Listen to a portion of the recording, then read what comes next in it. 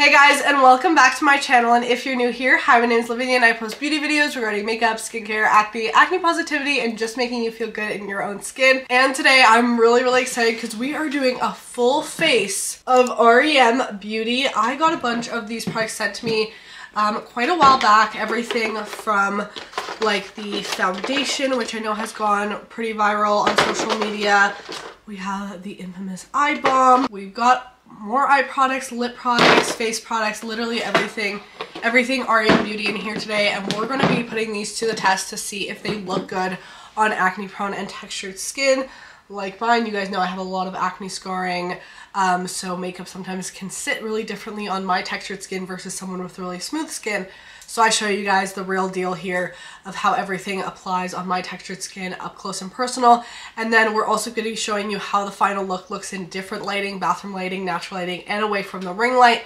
And then we're also going to be putting this makeup to the ultimate test to see if it can withstand a full day wear test. So I'm going to check in with you guys at the end of the day as well to see if this makeup is still looking good by the end. So I'm really excited about this. Let me know if you guys have tried any REM Beauty and your thoughts. I think I forgot to mention, for anyone who doesn't know, REM Beauty is Ariana Grande's makeup line. And I haven't heard like that that much on it. I've seen some reviews here and there, but I haven't seen many people with my skin type and my skin texture try out these products. But before we jump into this review, gotta remind you guys that we have a bunch of new episodes on my podcast, Loud Talk with Lavi. We post every single Sunday morning at 7 a.m. MST on YouTube, Spotify, Apple, and Spotify. We talk all about breaking down the walls of beauty standards one flaw at a time. So if you want to hear kind of my thoughts on confidence, battling insecurity, becoming your most confident self, go check out that podcast. I interview so many influencers, brand founders, and public figures that have gone through their own struggles with self-confidence and self-love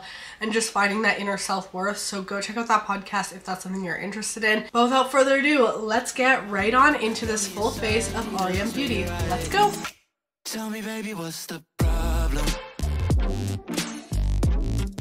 Cause I keep trying to figure it out. Alright guys, I'm so excited to jump right into this review. So I have the full box of REM Beauty products here. Let's open her up. Okay, Miss Ariana. So right here, and then we have all of the product information. So I'm just gonna lay this out in front of me so we can get into this. I have everything from the foundation, like concealer, face products, everything. So we're gonna be doing like a full, full face of this and then wearing it throughout the day to see how this really looks on my skin type.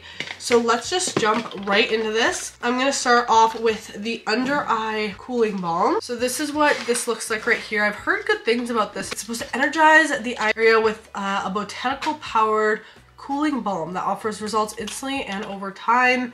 So it has Centella asiatica in here, which is going to help soothe the under eye area and also blur imperfections. Okay. Oh, that is such an interesting texture. I was expecting it to be like more liquidy, but it's very much like a balm. And oh yeah, that seems like it would be blurring. So let's just go in with this right under the eye. I don't know if I'm applying too much of this, but it does feel very nice. And I do feel like it did some blurring right there. What do we think? I will say it's not like super, super cooling. Like it does have a little bit of that nice feel to it, but it doesn't like feel irritating. It's not like stinging or anything. So that does feel really nice. Okay, I think next is honestly the foundation. This is what this looks like right here. So this is the REM Sweetener Foundation. I have mine in the shade Light 2NW. This packaging is very interesting. And here is what the packaging looks like. I've never seen a foundation bottle shaped like this before, but it's like a frosted bottle, plastic bottle with a pump.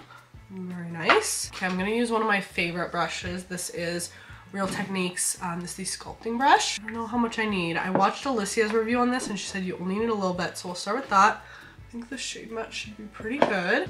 another pump over here. Very full coverage right off the bat. It's not like emphasizing my texture too much. Let's see if it's buildable. I just added like another half pump. We're just gonna go in. This is applying very nicely to the skin so far. It's definitely more of like a full coverage heavy foundation. I will say that. A bit of a thicker formula.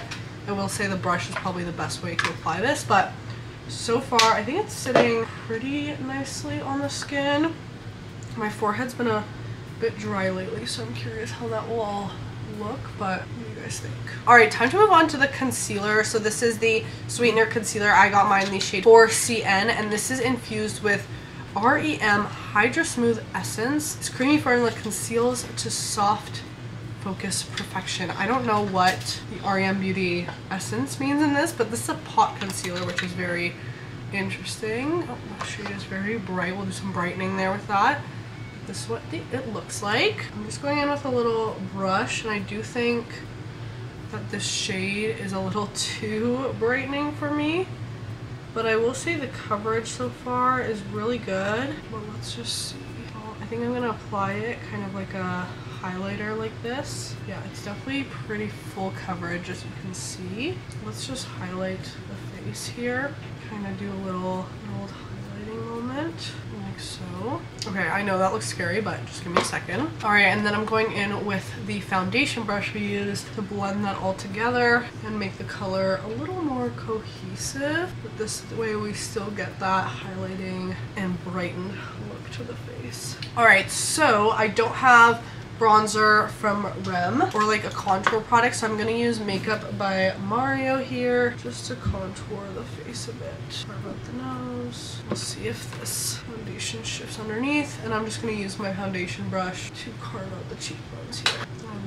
This contour. I will say the foundation is sitting like more heavy on the skin. Definitely like a full coverage glam makeup type foundation for sure. All right, let's move on. You can kind of see how it's sitting on my texture on my forehead there a little bit and like around my mouth. But let's move on. Next up we have this um, Eclipse Cheek and Lipstick in the shade Leading Lady. This is like a bright red. Look at this. All her packaging is very like futuristic space vibes. This is just like a stick. Oh, it matches my nails perfectly. So let's just go in with this. Oh, that is red. Okay, let's blend. Oh my gosh, that is so red, but like still a really pretty color. Wait, that's actually so pretty. Why have I never seen Ariana though like with a bright red cheek before though, you know? And I honestly love a nice and pigmented blush. I feel like it just makes my skin look so much more youthful and kind of blends my acne scars together. This is a really pretty shade though. And I will say it's blending out really nicely, even though for how pigmented it is. We're just gonna go more heavy-handed with the blush today, honestly. That is looking really pretty. Mm, I do like this packaging, very cute. All right, time to set down the face. I'm gonna use my Laura Mercier powder real quick. I don't know if Ariana has powder in her line, but I'm just gonna use some of this translucent powder on a little powder puff and set right under the eyes and kind of in my T-zone. This foundation, I definitely think for how kind of full floor coverage it is, I do think you need to set it for sure. Moving right along, we have the highlight. This is the Interstellar Highlighter Topper in the shade Miss Mercury. I don't really know what it means by a highlighter topper, but let's see. This is what the shade looks like. Let's do a little swatch. Oh, that is really pretty. That is a really pretty Oh my goodness. Wow. I would put that all over the eyes as well. That's really pretty. So, let's go in with a little brush. Okay. Oh, that is stunning. I haven't, like, why haven't I heard that many great things about these highlighters? I feel like that's really pretty, but it's still, like, subtle. Like, it's not, like, a huge, shiny moment. I'm gonna highlight the nose today. I don't do that too often, but I like that. And it's not emphasizing my texture that much either, which I do enjoy. So that's really pretty. Time to move on to the eyes. This is the Midnight Shadows eyeshadow palette in the shade Principessa. I think that's how we say that. So this is what the eyeshadow palette looks like. Some very, very beautiful shades. This is definitely right up my alley of shades that I typically like to use. So let's dive right into this. I'm gonna dive into this beautiful medium brown shade right there. And we're gonna pop this in the crease. I feel like Ariana likes to do some fun eyeshadow looks and I love a good bold eyeshadow look. So let's just have some fun and play around today. Oh, that is blending out pretty nicely. It's pretty pigmented. I don't see her talk too much about her line. Like I feel like this could have been a makeup line that's kind of like without Ariana. Like it doesn't like, when I look at these products, I'm not like, oh, this is like very Ariana Grande coated. I would say other than the packaging. Like the packaging, I can definitely see Ariana in, but products themselves, I don't know. I know she's like a glam girly, but you never like see her really hopping on doing her makeup that much, like herself. Then I'm gonna grab the brown shade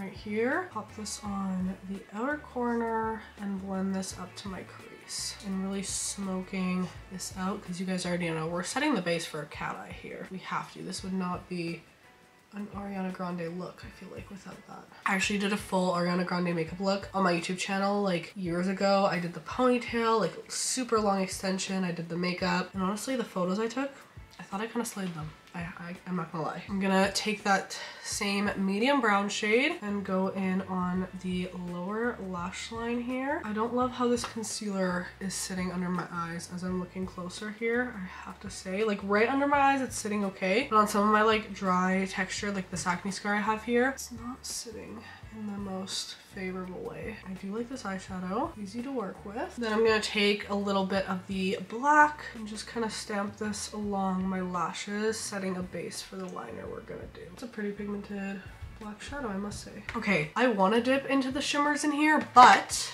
but, we have an eyeshadow, a liquid eyeshadow. This is the Midnight Shadows liquid shadow in the shade Fembot. Oh, that is stunning. Look at that. Let's do a quick swatch. Oh, yes. That is so beautiful. Do we see that? It's like going from like shifting from like gold to blue. That is really, really beautiful. I think I have to just use this all over. So let's just go in. That is so pretty. Are you kidding me? I do like that the applicator is kind of more pointed. You can get more of a precise application. This is sending me back to like 2018 2019 for me because I used to use a shade like this all the time. Like no matter what. If I was going to the grocery store a night out a date night anything like I would use these types of shades. And I have to say this shade Fembot is really pretty. Can we build it up a bit? That's a really really stunning shade right there. Wow. I'm just gonna tap out that center with my finger but that looks stunning. That looks stunning on the eyes. And to finish off the eyes, I do have the liner and the mascara. So let's jump into the liner here. This is the At the Borderline eyeliner marker in the shade Midnight Black. If this eyeliner isn't good, guys, if this eyeliner isn't good, I don't know. Okay, so it's a nice pointed tip. Ooh, seems very liquidy, but we have some pigment there, so there's some hope. Let's jump into this and start carving out a line. I haven't done a liquid liner in a minute, and she does her liquid liner so interesting. But I'm just gonna do, I remember that video tutorial came out of her doing her liner and the internet like went crazy, but I'm just gonna do it how I usually do. I don't typically like a pen liner, but this one is applying pretty nicely. It's very pigmented. I like that liner actually. For a pen liner, not bad. Not bad at all. All right, is it my absolute favorite liner? No. Nothing in my eyes will ever beat the NYC liquid liner, but not bad for a pen tip, as I said. All right, time to try out the mascara. So I'm just gonna give my lashes a quick curl. And this is the Flourishing Lengthening Mascara in the shade Midnight Black. Here's what the packaging looks like. Ooh, and the brush is a short bristle, like rubber bristle brush. So let's just apply it. Oh, you can get really get really nice and close in there. I'm not getting that much product on the lashes, but I will say it's separating them out really nicely. Oh, it's a very like natural mascara, like no clumps. I will say that. So if you like something that's more volumizing, you're probably not gonna like this, but if you like something that's very lengthening, separating, and just gives you that like fluffy lash look, you might really like this. I feel like this would be awesome to use with falsies because you can really get in there and kind of blend. Very, very easy to apply on the bottom lashes though, and it's coating them really nicely. I will say it's not like that buildable on the top. Like I feel like no matter how much you apply, you're not gonna get like any clumping or any of that. All right, now we have a bunch of lip products to try out. We have two plumping lip glosses and a lip oil as well. Let me throw on some lip liner real quick. This is MAC Soar. So let's start off with the shade VCR. This is the plumping lip gloss. Ooh. Oh, that's not the type of packaging I was expecting. I thought it'd be like a foot applicator, but it's a little squeezy too. Oh, that's pretty pigmented actually. Nice nude shade. Let's just go in. It smells like cake. Very pigmented actually and not sticky. Very glide on formula and the applicator does make it kind of easy to apply on the go and it has a lot of color to it. Like I wasn't expecting it to have this much color. Um, next up we have the other plumping lip gloss which is a clear squeezy tube this time. I wonder why they did like two different packaging types for these but this is just a clear lip gloss. Feels like the same type of formula where it's very glidey. Not sticky at all, very, very, very glidey. And then last but not least, we have the lip oil. This is the Essential Drip Lip Oil in the shade Mint Condition. Oh my gosh, and it's literally blue. Guys, what is this lip oil? This is from Rem Beauty and this is the Essential Drip Lip Oil in the shade Mint Condition. And the craziest part is this applicator. Wait till you see this. It has a little metal ball in there and the applicator looks like a little seat. Do you see that? I kind of want to apply this. I want to do a swatch of it. Okay, it's definitely clear, but that roller ball feels so strange in there. Okay, let's wipe off the lip color I have on. Still keeping the lip liner on though. And let's go in with this lip oil. Oh, that's so weird that they put a little rollerball in there. Oh, that is very minty. Kind of has that plumping effect to it. Feels really nice on. It's not like that glossy where it looks like a lot on the lips. Like it's kind of melting into the lips really, really quickly. Very minty, cooling feeling though. That is very very interesting. What do you guys think of this product? All right, I think that's it. I think that's all the products. All right guys, so that is the full face of makeup. The makeup is done. I will say I feel very full glam. I do really like how everything's sitting on the skin except for whatever bunching is going on under my eye there. Like, do we see that? Don't know what I don't know what's going on there but the rest I think looks really really pretty. Of course though this is in front of the ring light which changes a lot so let me show you guys what this looks like in different lighting. All right so here's away from the ring light. Um, the ring light's right to this side so as you can see when I'm not facing direct light like look at that change of how the texture just appears so much more. And this is how the makeup is sitting. And here is some good old bathroom lighting. I always find bathroom lighting gives a really real look of how the makeup actually sits on the skin. So here's what we're dealing with. And here's some natural lighting. There's snow out, so I always think that really brightens up the face. And here's the makeup, nice and close view. So I'm gonna wear this all day and I'm gonna check in with you guys later to see if this makeup can really withstand a wear test as well. See you in a bit. Holy guys, it has been a day. It has sure been a day. It is currently 8 55, almost 9 p.m. I've had this makeup on for about 9 hours um, and I am ready to go to bed. Guys, I'm such a grandma. I literally cannot stay up late like at all. It's 9 p.m. and I'm, I'm ready I'm ready for bed. Um, Sunday night though, so I usually get up pretty early during the week. So I'm ready to go shower and take off this makeup. But we have to kind of take a look because I have some thoughts. I have some thoughts. So let's zoom you guys in. All right, so we've definitely had some wearing and tearing. You can see around my chin that a lot of the product has worn off. I was eating. We had like a family celebration for my brother's birthday today. So, um, you know, my lips were touching my chin a lot. I was probably doing a lot of like this action. So the foundation did wear around there. Um, same around my nose. You can probably see here. I am still recovering from a bit of a cold. So I was, you know, blowing my nose a lot and all of that. So that obviously rubbed off some of the product. I will say my pore area here, this usually gets pretty oily, greasy, broken up for me, and it didn't, so I really, really like that. Um, and then this area for me on my forehead as well gets pretty greasy. It's a little greasy, like I could use a touch of powder, but it doesn't look that bad, if you know what I mean. But definitely the most breakage around my nose, which makes sense because I was blowing my nose and stuff. It didn't sink into my smile lines actually that much or like my forehead lines.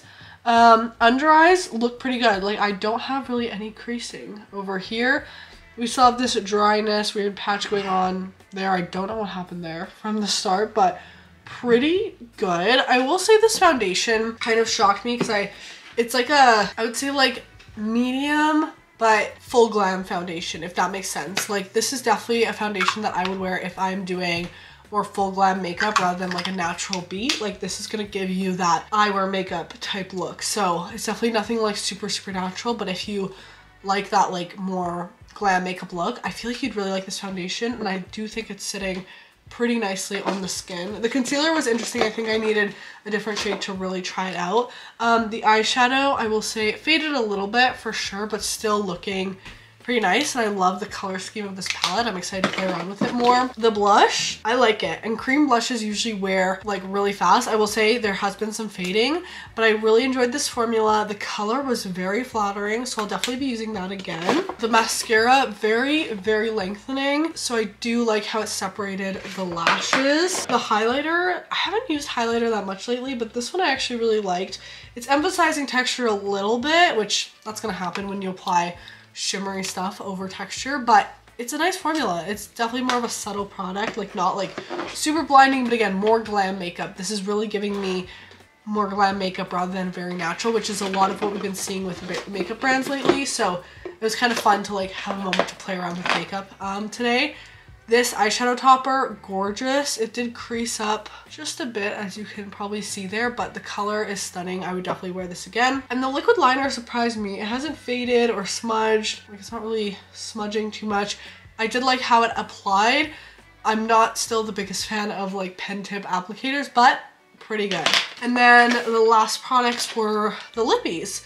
So lip oils, I always find lip oils kind of dry out my lips a little bit. Mind you, I was eating and like you know, drinking like out of glasses and stuff today. So lots of like transfer happening.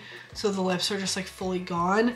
But these lip glosses, like they did feel nice on the lips. I don't think like they're nothing like crazy, but they are a nice formula. Like I would use them definitely again. This is just so easy for travel. I feel like just to throw in your purse, especially because it's like a hard packaging, but it's still a squeezy tube, so you don't need a mirror to apply it. So I would actually use that again. But I think that's all the products, right? So that is the finished look after nine hours.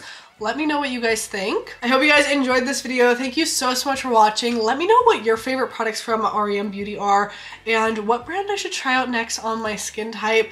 Um, I would love your suggestions down below. But if you did enjoy this video, make sure you give it a big thumbs up and don't forget to subscribe if you haven't already and turn on my post notifications so you don't miss out on any future uploads. If you want to see more content from me, I do post daily on Instagram and TikTok at Lavinia Rusanda and I do have my podcast, Loud Talk with Lavi, where we get loud about breaking down the walls of beauty standards one at a time every single Sunday on YouTube, Spotify, Apple at Loud Talk with Lavi. Just search up Loud Talk with Lavi and you'll find the full podcast. We're on season two, baby. My brand 9 to 5 Skin is um, out for sale at 9to5skin.com. I think that's all. I think that's all I have to tell you. So hope you're having a fantastic day night whenever you're watching. Remember to tell yourself something you love about your skin today and I will see you in the next video. Bye guys! Tell me baby what's the problem Cause I keep trying to figure it out